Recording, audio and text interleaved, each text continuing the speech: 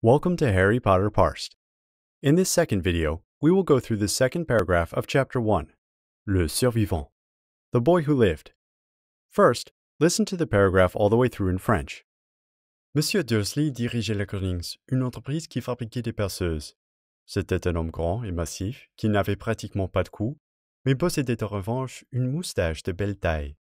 Madame Dursley, quant à elle, était mince et blonde et disposait d'un cou deux fois plus long que la moyenne, ce qui lui était fort utile pour espionner ses voisins en regardant par-dessus les clôtures des jardins. Les Dursley avaient un petit garçon prénommé Dudley, et c'était à leurs yeux le plus bel enfant du monde. Monsieur Dursley dirigeait la Grunnings. Mr. Dursley ran Grunnings. The verb diriger is in the imperfect, the tense used for ongoing actions taking place in the past. It is third person singular to agree with the subject, Mr. Dursley. Grunnings is just the name of his company, Grunnings. But notice that we have to use the definite article la here in French, where we wouldn't in English. The name of the company is feminine because the words for company, entreprise and société, are feminine in French. Une entreprise qui fabriquait des perceuses. A business that manufactured drills. Une entreprise, a business or company, qui this is the relative pronoun used for subjects, who or which.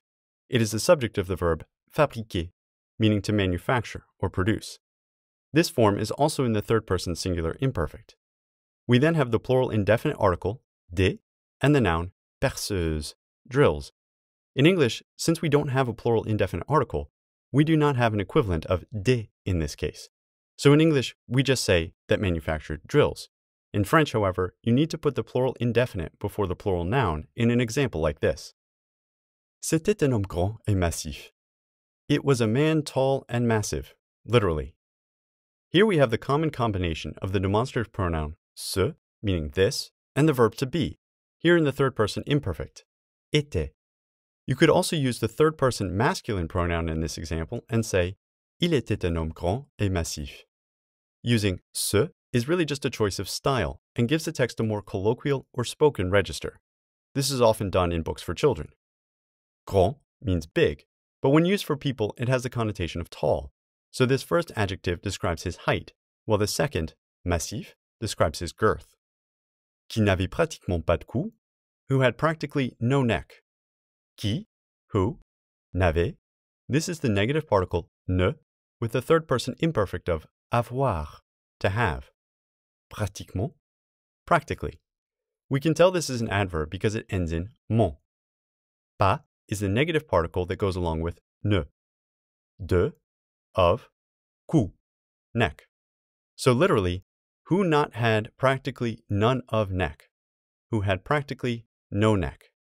The de is necessary here as you will always use it when saying there is none of something. Qui n'avait pratiquement pas de cou mais possédait en revanche une moustache de belle taille. But had, however, a large mustache. Mais, but, possédait, possessed, en revanche, by contrast, however. Revanche on its own means revenge, but in the collocation en revanche, it's more like on the other hand. Une moustache, a mustache, de belle taille, literally of beautiful size. Here, belle refers not to the appearance, but to the fullness of the size of Mr. Dursley's mustache, as it actually modifies taille, meaning size. It's a common combination. Belle taille. Mais possédait en revanche une moustache de belle taille.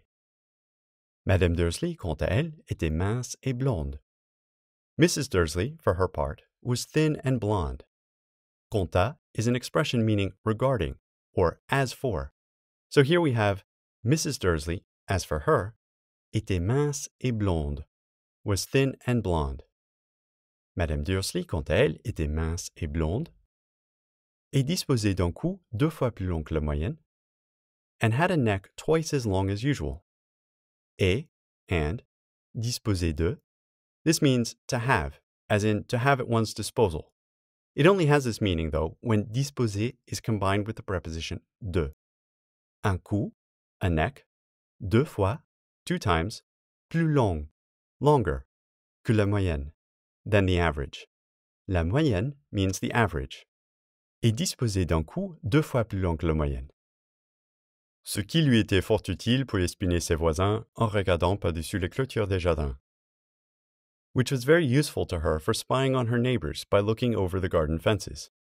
Ce qui, that which, or just which, lui, for her, était fort utile, was strongly useful, pour espionner ses voisins, for spying on her neighbors, en regardant, while looking. This is an example of the gerondif form in French made of the preposition en and the present participle, used to indicate an ongoing action. Par-dessus les clôtures, over the fences, des jardins, of the gardens. Note that par-dessus means over as opposed to just dessus, which means on top of. Les Dursley avaient un petit garçon prénommé Dudley, et c'était à leurs yeux le plus bel enfant du monde. The Dursleys had a little boy named Dudley, and he was to their eyes the most beautiful child in the world. Les Dursley avaient, the Dursleys had, un petit garçon, a little boy, prénommé Dudley. Literally, first named Dudley. In other words, his first or given name was Dudley. Et c'était à leurs yeux, and he was to their eyes. Here, ce doesn't mean this, but rather he, referring to Dudley. More formally, you could use il here instead of ce. Le plus bel enfant du monde. The most beautiful child of the world. Remember that du is a combination of de and the masculine definite article le, together meaning of the. And he was to their eyes the most beautiful boy in the world. Monsieur Dursley dirigeait le Gronings, une entreprise qui fabriquait des perceuses. C'était un homme grand et massif qui n'avait pratiquement pas de cou, mais possédait en revanche une moustache de belle taille. Madame Dursley, quant à elle, était mince et blonde et disposait d'un cou deux fois plus long que la moyenne, ce qui lui était fort utile pour espionner ses voisins en regardant par-dessus les clôtures des jardins. Les Dursley avaient un petit garçon prénommé Dudley et c'était à leurs yeux le plus bel enfant du monde. Okay, that's it for this video. I'll put links in the description below to the other videos in this series, as well as to where you can get copies of the book and audiobook in French. If you enjoyed this video, please like, share, and subscribe, and check out linguisticator.com for our courses in French and memory. Merci et à la prochaine!